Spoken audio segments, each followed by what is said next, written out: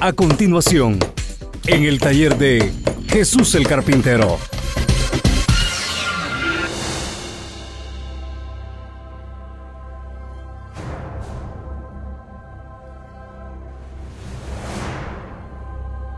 Voy a invitarles a que abramos nuestras Biblias en Mateo capítulo 16 y vamos a leer desde el verso 1 hacia el verso 3.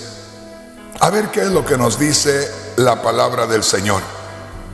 Recuerde, Mateo capítulo 16 versículos 1 hacia el 3. Y dice así la palabra del Señor.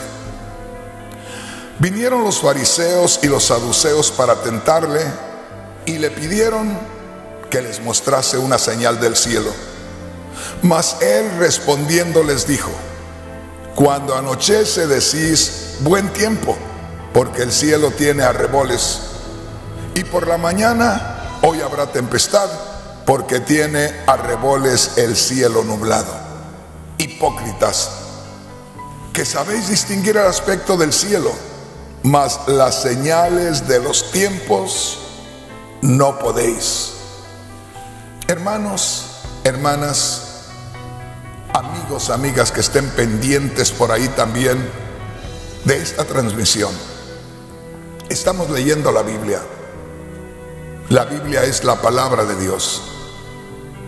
Debemos no solamente de leerla como quien lee un periódico o cualquier libro, leámosla pidiéndole a Dios la revelación, pidiéndole a Dios que al leerla y al escuchar al que está leyéndola o al que está explicándola, podamos experimentar algo allá dentro, en lo más profundo de nuestro ser. Porque esto es real. ¿Qué le quiero decir? Que cuando un hombre predica la palabra de Dios y no lo hace por competencia, no lo hace por negocio, por dinero o por hacerse ver como que es un gran personaje, muy sabio, muy conocedor, sino que la presenta de la manera como Dios quiere que se haga, cuando uno empieza a leer la palabra de Dios junto con esa persona, uno empieza a descubrir muchas cosas que no había descubierto. Cuando uno escucha a esa persona, esa persona que le digo que está haciendo el trabajo de parte de Dios, uno siente que va de la mano de aquella persona y que está uno aprendiendo más de la palabra de Dios que cuando lo hace uno solo. Cuando uno está unido con esa persona en la lectura y está escuchando la explicación que da, uno siente algo allá adentro. Y déjame decirte, muchas veces aquello es tan poderoso, tan fuerte, que la persona comienza a estremecerse y comienza a derramar lágrimas sin haberlo planeado, sin haberlo querido. Para mí, es lo primero que yo aprendí. Eso empecé. Eso me abrió los ojos espirituales. Esa fue mi gloriosa experiencia a principios del año 1977, aquí en el área de Los Ángeles, California. Escucha, había unos hermanos en una casa común y corriente, que en la parte de atrás habían puesto dos palos clavados y del techo de la casa lo extendieron hacia aquellos palos y le pusieron una sombra ahí arriba, una lona, y ahí hacían sus servicios. A ese lugar llegué yo por primera vez a escuchar la palabra de Dios. Un lugar que el piso era de tierra suelta. Un lugar donde estaba completamente abierto a los lados, solo ese techo. Ahí estaba un hombre, un evangelista, teniendo una campaña. Y el día que yo llegué, nos puso a leer la palabra de Dios como te he invitado hoy. Y empezó ese hombre a leer la Biblia y por ahí me prestaron una a mí y empecé a leer con él. Y como que tenía sentido lo que yo leía, cosa curiosa, mi esposa y yo habíamos comprado una Biblia guadalupana, grandota, preciosa, y muy frecuentemente la tomábamos porque la teníamos en la sala, en una mesa abierta la Biblia, llamaba la atención, a veces daban deseos de leerla, pero como que queríamos saber algo, pero la tomábamos, la leíamos y como le digo, como leer cualquier libro.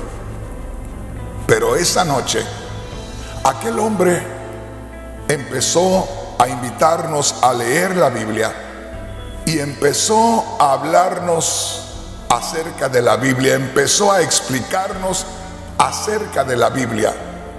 Y déjame decirte que aquello fue glorioso, porque lo que aquel hombre empezó en un momento dado de la predicación, empezó, hermano, hermana, a describir al Señor Jesús desde que lo mandaron a arrestar. Y empezó a describir detalle por detalle, desde que lo azotaron, desde que lo golpearon, desde que se burlaron de él, hasta que lo clavaron de sus manos, hasta que le atravesaron el costado, hasta que le pusieron la corona de espinas, todo eso hermanos, hermanas, cuando él iba ya casi terminando de describir todo aquello que sufrió el Señor, yo empecé a sentir algo frío que corría por mis mejillas y me di cuenta que eran gruesas lágrimas que estaban corriendo. Pero cosa curiosa, no era una lágrima que salía y después otra que salía, yo sentía como si fuera un río de agua que salía. Es decir, no se sentía que salían gotas y caían. Sentía como que salía un hilito de agua así, otro aquí, sin parar. Y en ese momento, yo no sé cómo fue eso pero cuando yo empecé a descubrir aquello, miré hacia el púlpito, allá donde estaba aquel hombre. Y aquel hombre parece que alguien le avisó, porque así retirado, levantó su mirada y me miró directamente a mí. Y no se detuvo ahí más, detrás del púlpito. Se vino con su Biblia en la mano y se puso delante de mí a esta distancia y me miró a los ojos. Yo estaba sentado y él de pie era un hombre bajito, pero con una autoridad tremenda. Y se puso delante de mí y mirándome a los ojos parece que me escudriñaba ahí adentro.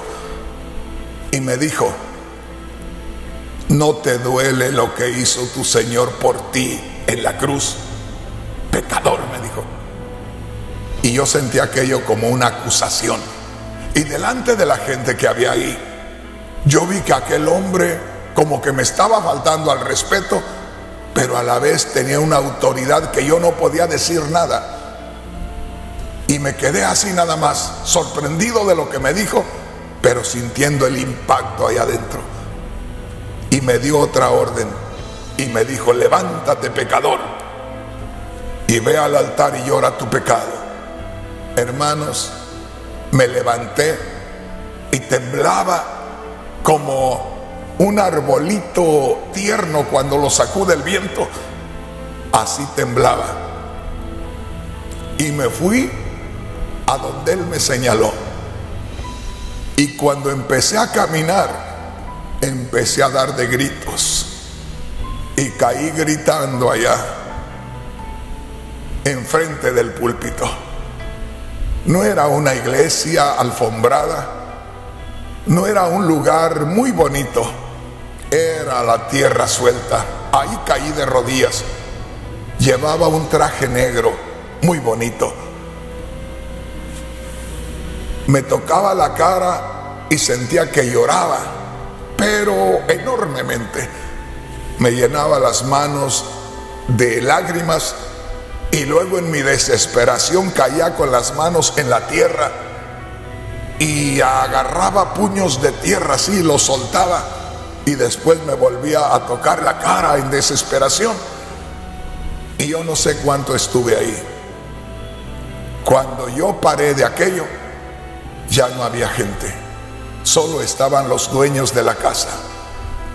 Y de ahí salí y me fui a mi casa que hasta mi carro dejé ahí fuera de la casa de ellos.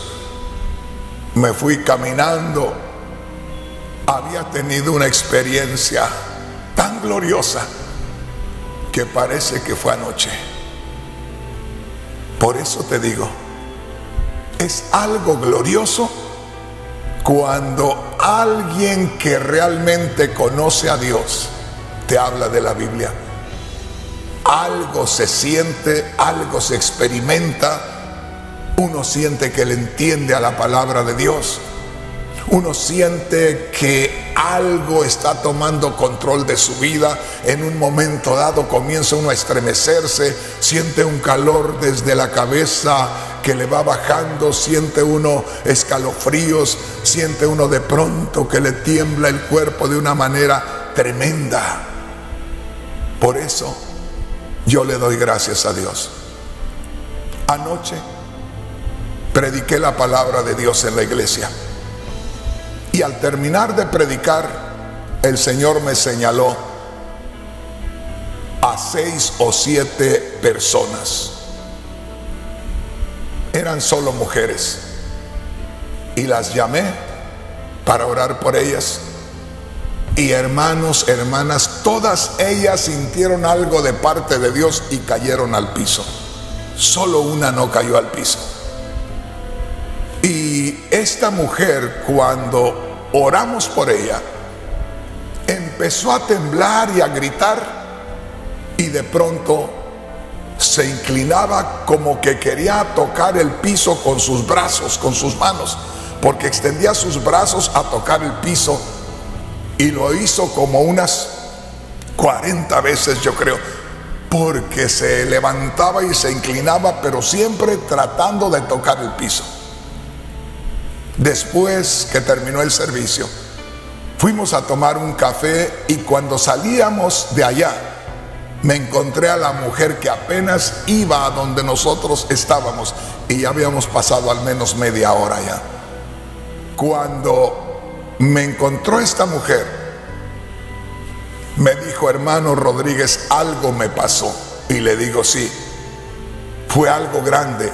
Y me dijo, hermano, es que yo no quería moverme porque yo tengo un problema de discos en la espina dorsal, un problema muy serio. Y me dice, por eso yo no me quería mover. Y le digo, no es que no, no es que usted no se quería mover, es que la movieron. Y me dice, no puede ser que me haya movido. Le digo, usted se inclinaba casi hasta tocar el piso y lo hizo como 60 veces. Y me dijo, hermano Rodríguez, yo no podía, o me dijo, yo no puedo agacharme. Y le digo, no podía porque ya el Señor la hizo que lo hiciera. Hoy voy a ver qué es lo que va a testificar. Pero te digo, algo sucede, algo glorioso. Ahora sí, vamos a ver qué dice la palabra del Señor. Dice así, Mateo capítulo 16, versículos 2 al 3, ahí nos vamos a centrar. Le voy a leer en la Biblia traducción en lenguaje actual. Estoy escogiendo algunas Biblias que considero más fáciles de entender para mí y a poco, si para mí son más fáciles de entender porque casi no fui a la escuela, pues seguramente que para muchos hermanos les será también de mucha ayuda. Dice así la Biblia traducción en lenguaje actual. Jesús les dijo, cuando ustedes miran el cielo por la tarde y está rojo, dicen, va a ser buen tiempo. Pero si en la mañana el cielo está rojo y nublado, dicen, hoy va a haber mal tiempo. Ustedes entienden muy bien las señales en el cielo acerca del tiempo. ¿Por qué entonces no entienden lo que ahora... ¿Por qué entonces no entienden que lo que ahora hago es una señal de Dios? Qué tremendo. Oiga bien. Aquella gente israelita, aquella gente judía, como todos nosotros en América Latina, conocían el mover de Dios a través de la naturaleza. En otras palabras, conocían a Dios a través de sus obras. Sabían cómo Dios ha establecido el orden de la naturaleza. Y aquí el Señor se los recuerda y les dice, cuando ustedes miran el cielo por la tarde y está rojo, dicen, va a ser buen tiempo.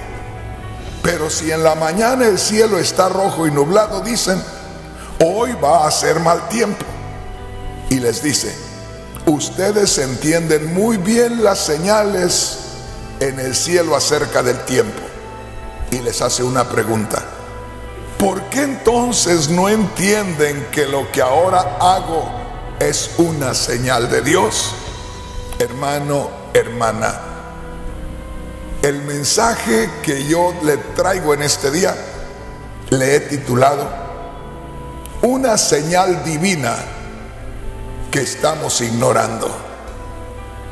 Una señal divina que nosotros no estamos reconociendo una señal divina que nosotros la estamos mirando, pero parece que no hace ningún efecto en nosotros.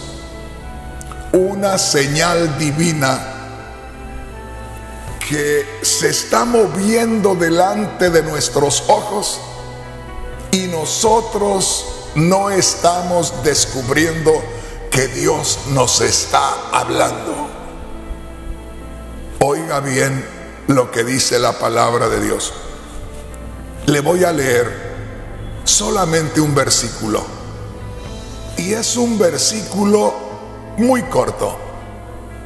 Y aquí es donde quiero que usted descubra cuál es esa señal divina que nosotros estamos ignorando. ¿Cuál es esa señal de parte de Dios que nosotros estamos viéndola, pero como que no está causando efecto en nosotros. Dice así la palabra de Dios en Mateo capítulo 24 versículo 12.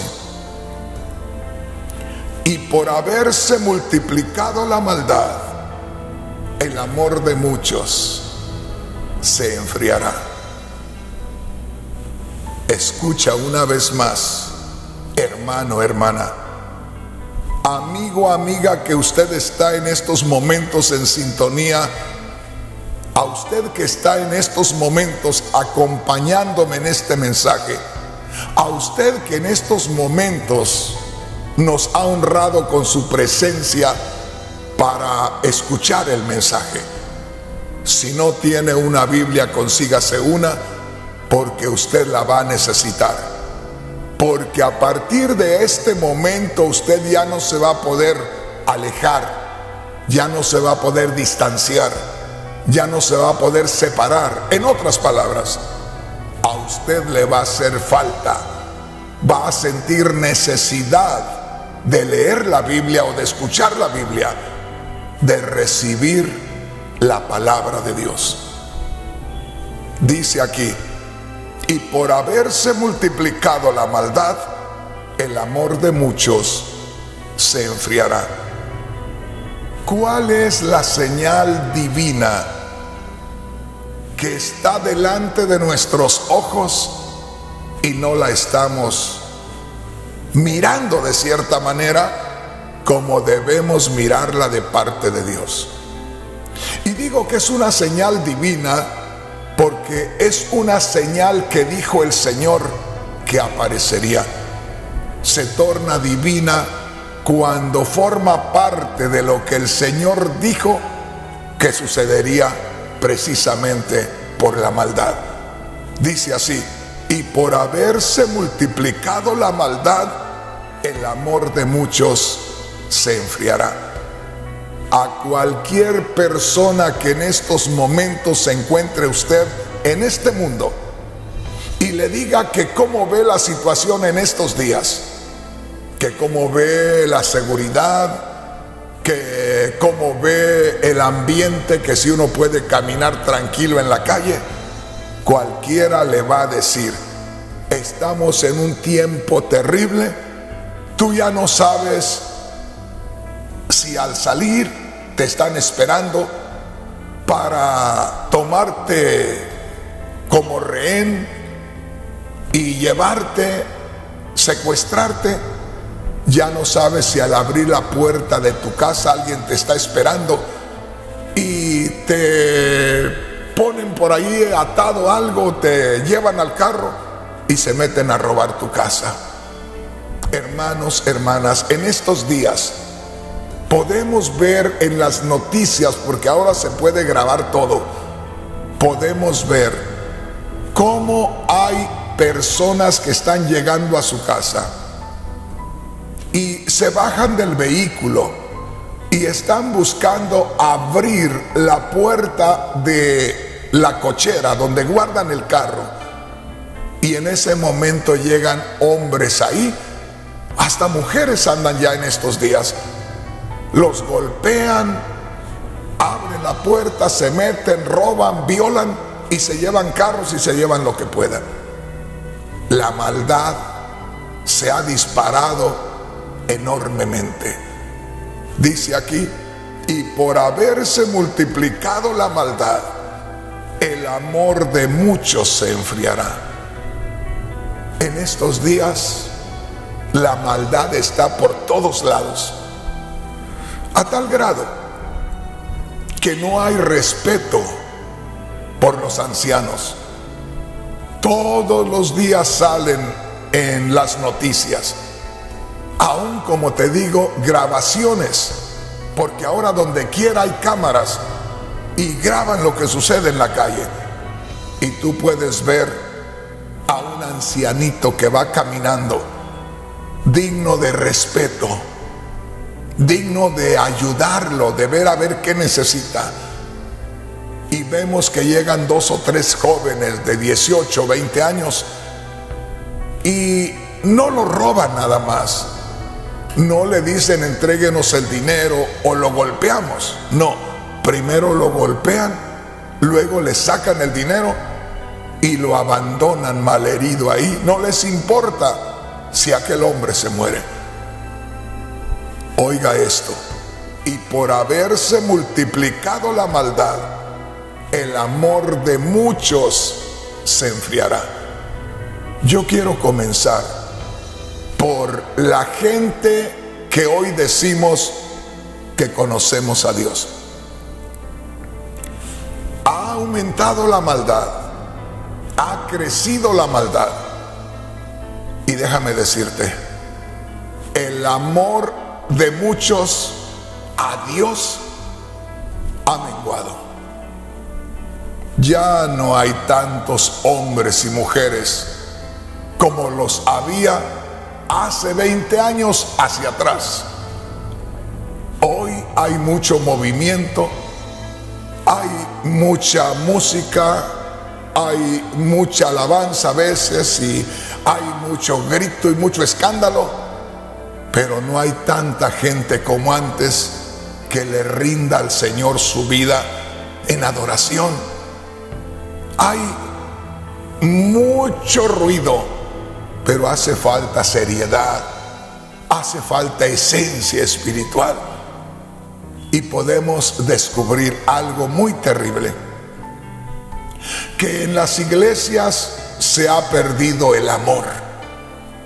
En muchas iglesias, como que los mismos hermanos a veces buscaran problemas, como, como que si no hay un problema no estamos contentos. Es tan glorioso, es tan maravilloso convivir en el Espíritu Santo. Es tan glorioso ver a alguien, a un hermano, a una hermana y comunicarnos, gozarnos al vernos. Anoche estaba yo predicando cuando alguien entró a la iglesia. Y a la hora de que terminamos y fuimos a tomar un café por ahí, entró aquella mujer. En cuanto la vi, aunque traía cubrebocas, solo con verle los ojos sabía quién era. Una hermanita que había estado con nosotros en la iglesia por años, pero hacía mucho tiempo que no la veía. Nos miramos y nos gozamos, nos estremecimos. Y ella corrió y me abrazó. Y yo esperaba un abrazo que, ay, gloria a Dios, hermano, mi pastor, aleluya, amén y punto. Pero me retenía y yo me gozaba porque para mí era una ovejita que hacía mucho que no veía. Y luego me soltaba y de pronto me veía y me volvía a tomar otra vez. Y al final me dice, hermano Rodríguez, ¿cómo necesitaba esto? Y yo le digo, hija, ¿y cómo te extrañaba? Porque yo quería verte en la iglesia y hoy te vi. Qué glorioso es cuando hay eso en el corazón. Pero en estos días a mí me duele cuando pastores, a veces aún reconocidos, dicen una frase que para mí es horrible. Cuando de pronto les dicen, mire, fulanito de tal se quiere ir o fulanito de tal se fue, no te preocupes. Unos salen y otros entran. No, hermanos, no es así. Y una vez más le digo, la palabra de Dios se cumple. Delante de nosotros hay una señal muy clara y no estamos descubriéndola. Y puede decirme la mayoría, hermano Rodríguez, claro que sí. Sabemos cómo está la maldad. Pues déjame decirte, te doy malas noticias. Ya no hay el mismo interés en salvar las almas que había cuando yo me convertí. Aquí por el área de Los Ángeles y todas las ciudades alrededor, tú ibas manejando y donde había un terreno baldío que no tenía casas, donde quiera veías una carpa grande y esas carpas tenían unos letreros a la entrada. Y decían, gran avivamiento espiritual, gran campaña. El evangelista fulano de tal estará aquí por 15 días. Y ahí estaba, cada noche había música, Cada noche había predicación de la palabra de Dios. Cada noche llegaban las personas, ahí se llenaba aquella carpa. Y cada noche era derramado el poder de Dios y cada noche había sanidades. Donde quiera se veían esas carpas. Ya no se ven. Ya no hay. Acá en el área de California ya no hay. Ya se va pagando el amor por las almas perdidas. De la otra manera, podemos ver que ha aumentado la maldad en el mundo. Y cuando tú presentas el Evangelio, mucha gente a veces no quiere recibir porque la maldad o esa influencia de la maldad los ha tomado también a ellos y los hace resistirse a la palabra de Dios. Pero yo quisiera mostrarte aquí algo muy especial que dice la palabra de Dios. Pon atención aquí. Mateo capítulo 24, versículo 12. Y por haberse multiplicado la maldad, Nota esto. El amor de muchos se enfriará. No dice el amor de algunos se enfriará, sino el amor de muchos se enfriará. Y cuando en la palabra de Dios se menciona la palabra muchos, son muchos. De manera que podemos nosotros figurarnos de la maldad que había hace 20 o 30 años atrás y la maldad que hay ahora. Hermanos, hermanas, son miles y miles de personas que mueren al año en cada país. Es exagerado. Yo le hablo de México en estos días. Se queda uno asombrado de tantos muertos. Donde quiera los tiran ahí en México. Los dejan envueltos en plástico. Los dejan metidos en costales. Los hacen pedazos. Tiran las cabezas por donde quiera. Ya no hay seguridad, ya no hay confianza de andar en los caminos de México y en las ciudades de México. Y yo le estoy hablando de México pero esto está por todos lugares. El amor de muchos se enfriará. El amor en cantidad grande se ha estado alejando. El amor se ha estado evaporando como el agua bajo el sol. Poco a poco se ha ido yendo.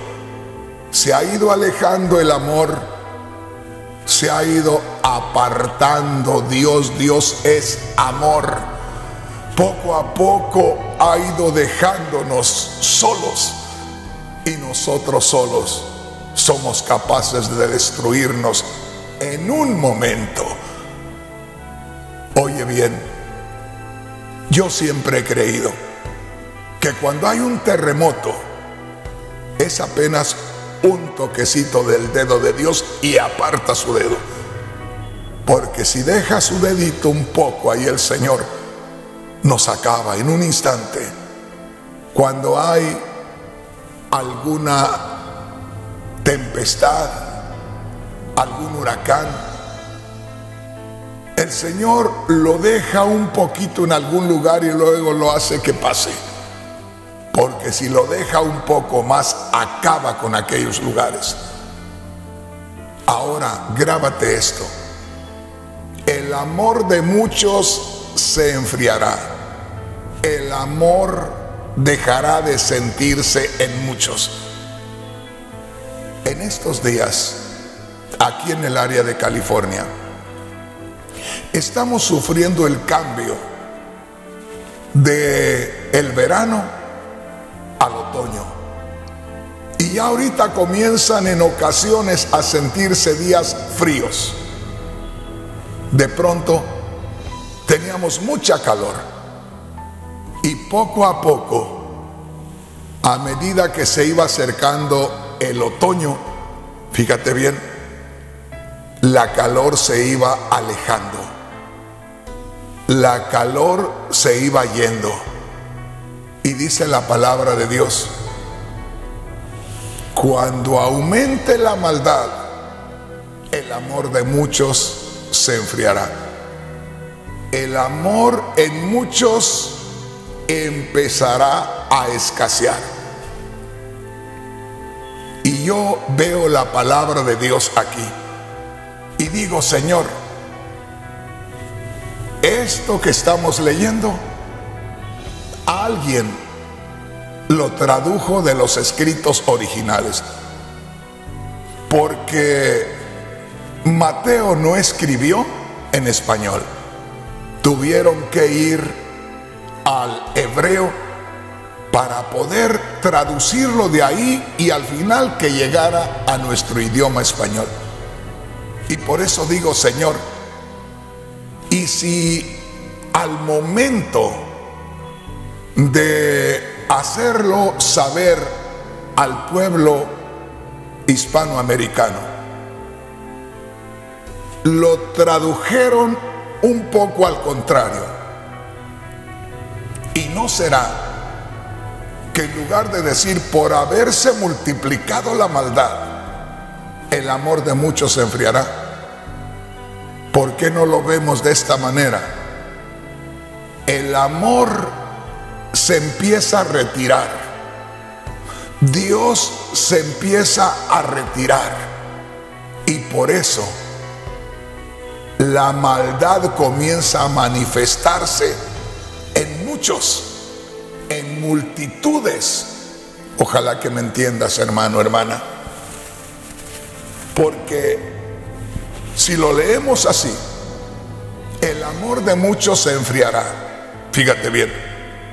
Si leemos primeramente, por haberse multiplicado la maldad, el amor de muchos se enfriará. Yo lo veo un poco raro.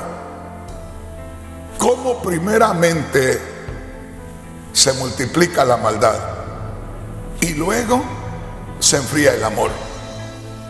Yo lo veo de esta manera. Como que el amor, Dios que ha estado por más de dos mil años, desde que Cristo murió y resucitó.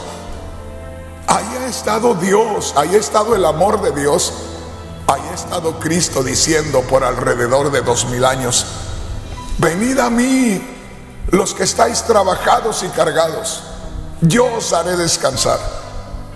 Yo soy el que menos ha predicado de todos los predicadores. Yo soy el predicador menos santificado. Yo soy el predicador que menos busca a Dios. Y sin embargo, he visto la mano de Dios porque he visto a miles de hombres y mujeres en México y Centroamérica, en Estados Unidos, caer rendidos a los pies de Cristo. Yo he visto la mano de Dios de una manera gloriosa, porque yo veía mucho cómo salían por todos lados hombres a predicar la palabra de Dios.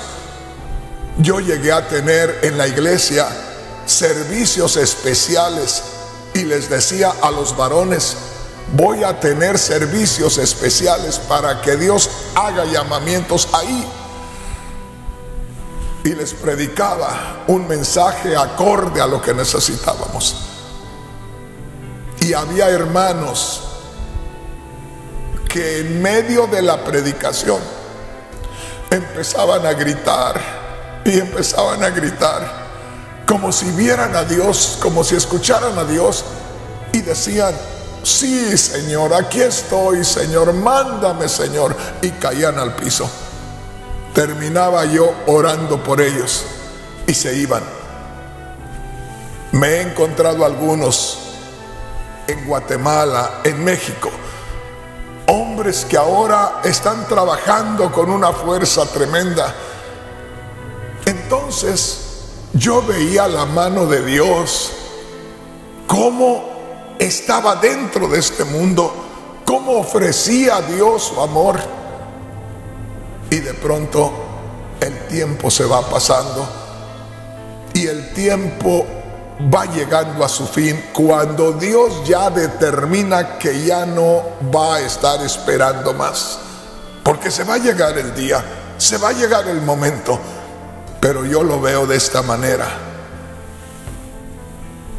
Apartándose poco a poco el amor de Dios. Y entonces comienza a multiplicarse la maldad. Porque yo lo leo aquí y dice, por haberse multiplicado la maldad, el amor de muchos se enfriará. Como si primero se multiplicara la maldad, para que la maldad ahuyentara al amor.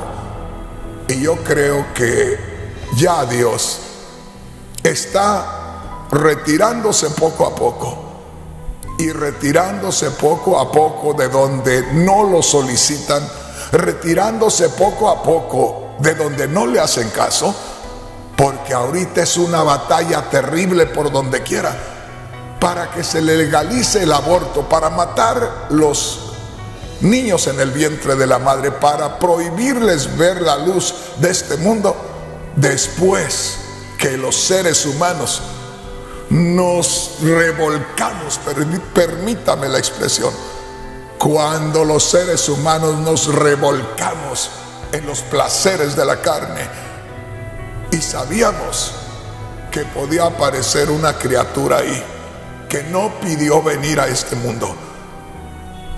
Y de pronto se hace presente esa criatura y hay que matarlo porque no lo queremos acá. Queremos los placeres, pero no queremos el fruto del placer. Ahí vemos todo eso. Vemos en estos momentos que se está peleando que se legalice que un hombre se case con otro hombre, que una mujer se case con otra mujer. Todo eso. Hermano Rodríguez está condenando. ¿Qué voy a condenar yo?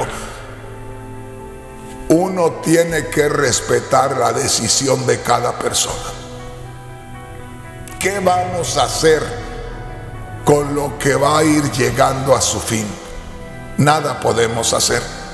Lo que el Señor nos dijo en la palabra de Dios era para que viéramos señales del fin que estaba llegándose ya. Era para que viéramos que ya Él estaba cerca de venir a recogernos. Entonces, ¿cuál puede o cuál debe ser la reacción de cada hombre de Dios, de cada mujer de Dios al descubrir la maldad? Al descubrir a tanto hombre y tanta mujer peleando por los derechos de hacer lo que a Dios no le agrada. Caer de rodillas y decirle, Señor, ten misericordia de mí. Ampárame bajo tus alas, Señor. Guárdame en el hueco de tu mano y hazme resplandecer por tu Espíritu, Señor, para llevar este mensaje por donde quiera, para que a nadie, Señor, le quede duda de que tú les hablaste, de que tú les advertiste. Y una vez les digo, hermanos, y una vez más les digo a todos y a todas, si no nos metemos a fondo en la presencia de Dios, si no nos conectamos a Dios a manera de resplandecer por su espíritu, prepárense muchos a darle la espalda a Cristo, a mezclarse entre las multitudes y a saber que está ocultando al Dios que debería estar presentando. No se olvide, los discípulos del Señor, cuando el Señor fue crucificado, ellos fueron y se escondieron en un lugar donde tuvieron que cerrar las puertas, donde se escondieron por temor. O nos llenamos de la presencia de Dios, o muchos más van a terminar sin amor de Dios. Ojalá que me entienda. Es algo muy especial que debemos tomar en cuenta. Dice aquí en Mateo capítulo 24 versículo 12. Y por haberse multiplicado la maldad, esto es lo que llama mi atención. El amor de muchos se enfriará. Y como te digo, cuando la Biblia habla muchos, son muchísimos. Y el mundo es uno, el cristianismo es otro. No solamente va a aumentar la maldad en el mundo, pero es una influencia espiritual que si nosotros no estamos bien conectados con Dios, se va a estar moviendo en nuestros medios. Yo no tengo por qué juzgar o condenar a nadie, pero en estos días, por donde quiera, están brotando las cosas que estaban ocultas. Decenas de hombres ahora de 50 o 60 años están descubriendo, están hablando, están revelando que cuando eran unos adolescentes, unos niñitos de 8 o 10 años, que los papás gozosos, regocijados porque se los pedían para servir en la iglesia, los entregaban. Y los hombres, aquellos que deberían de ser hombres santos para poder levantar y poder formar a hombres santos de aquellos niños, los violaban y los dañaron terriblemente. Ahora con 50, 60 años, esos hombres gimen y lloran adoloridos del mal que les hicieron. Y por donde quiera, en las iglesias, los líderes metiéndose en adulterio con mujeres de la misma iglesia. Hermano, hermana, allá en el Antiguo Testamento hubo hombres que hacían eso y Dios los mató por dejarse llevar por Satanás en lugar de dejarse mover por el Espíritu Santo.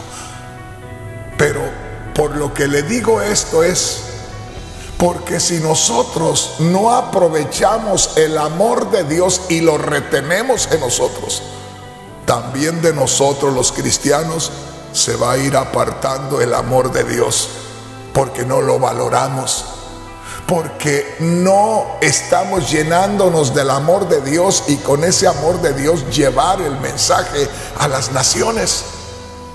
Por esa razón vamos a ver muchas cosas.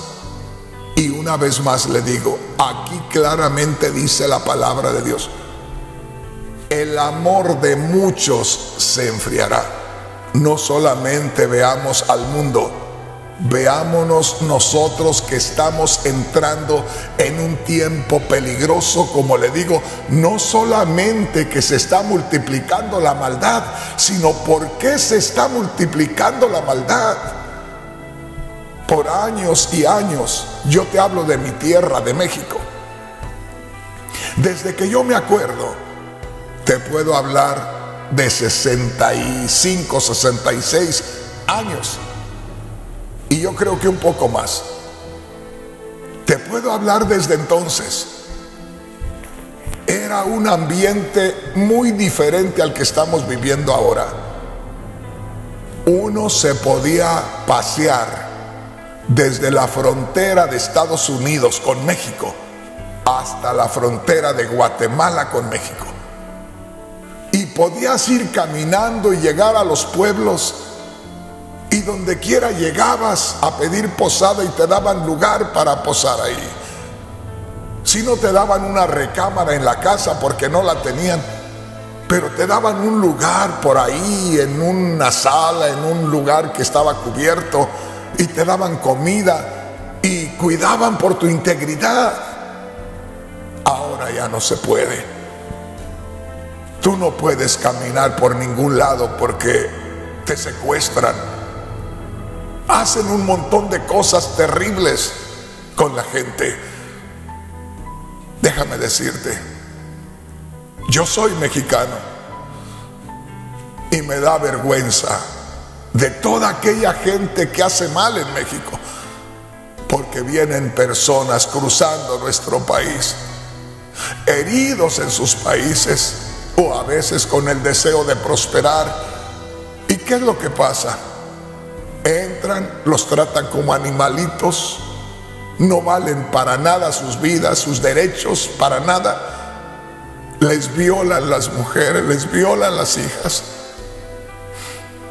y a uno le duele, pero ¿qué puedes hacer? Ya no se puede hacer nada. Es que se está llegando el tiempo del fin de todas las cosas. Es que ya Cristo está a las puertas y el Señor nos habla hoy que no dejemos que se aparte su amor. Me recuerdo de aquella vez cuando el apóstol Pablo, por allá en el capítulo 20 de los Hechos, se iba a ir de un lugar donde les había estado predicando, se habían gozado con las enseñanzas de Pablo, con la presencia de Pablo, con la compañía de Pablo, con la protección de Pablo. Pablo era algo muy especial para ellos. Y llegó el momento que les dijo, me tengo que ir y los reunió por ahí en un lugar bonito de la orilla del mar. Y ahí les dijo, y llegó el momento que se hincaron para darle gracias a Dios, para que Dios los bendijera en el camino. Y la gente no pudo soportar aquello. Y se lanzaron sobre el cuello de Pablo y lo besaban. No querían que se fuera porque sentían la bendición de Dios ahí con ellos. No querían soltar la bendición de Dios, no querían que se les escapara la bendición de Dios. Más que Pablo les dijo, yo sé que después de mi partida se levantarán entre vosotros hombres terribles, como lobos que van a tragarse al rebaño. Imagínate, sentían que se les iba la bendición de Dios. Por eso yo te digo, hermano, hermana, todavía el día de hoy, con lágrimas te lo digo, Dios me tiene diciéndolo por más de 43 años. No sueltes al amor de Dios.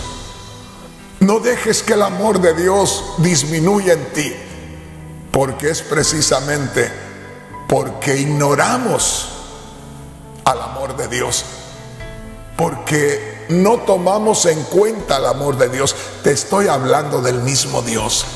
Lo ignoramos, no lo atendemos. Hace ocho días atrás, ya diez días atrás, estaba orando yo en la noche y me entró una tristeza grande. Y empecé a llorar. Le digo, Señor, me siento muy triste. ¿Por qué te sientes triste, hijo? Me dijo. Porque, Señor, caminé por Centroamérica más que todo. Caminé por Argentina, por República Dominicana, por Perú, por varios países y le digo, Señor, siento que no hice lo que tenía que hacer. Me siento mal porque debería de haber hecho más. Y no lo hice. Y empecé a sentir una desesperación dentro de mí. Hace diez días. Y el Señor me dijo, no estés triste, hijo. ¿por qué no me haces una fiesta? Cuando me dijo el Señor, ¿por qué no me haces una fiesta? Me alegré, me conformé. Y le dije, Señor, era domingo en la noche. Todavía no eran las 12 de la noche. Y le dije, Señor, mañana te comienzo la fiesta. Y ahorita llevamos nueve días de fiesta. Y yo no quiero parar esa fiesta. Porque no quiero que de nuestra iglesia, que del lugar que Dios me ha hecho responsable, se aleje el amor. Quiero retener al amor de Dios entre nosotros.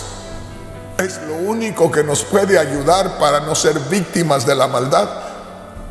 Y si de alguna manera tenemos que en algún momento ser víctimas de la maldad, pero podemos estar llenos de Dios como lo estuvo Esteban, aquel diácono que fue apedreado y que vio al Señor Jesús, que estaba delante de él cuando él agonizaba Hermanos, hermanas, escuchemos la voz de Dios. Esa señal que estamos viendo, esa la estamos viendo. Eso lo estamos mirando a cada día de muchas maneras. Pero no solamente nos concentremos en lo que se puede ver, descubramos si no se nos está alejando lo que no se puede ver el amor de Dios. Y yo te digo, el Señor lo dijo, el amor de Dios se irá enfriando. ¿Qué quiere decir? Se estará alejando. Cuando nosotros empezamos a experimentar el frío, es porque estamos quedando más alejados del sol. Hermano, hermana, creo que Dios nos ha hablado de una manera especial en este día. Ya no voy a seguir. Yo sé cuando Dios me dice que empiece y cuando me dice que termine. Esto lo vamos a continuar, pero por hoy creo que Dios ha hablado a muchos corazones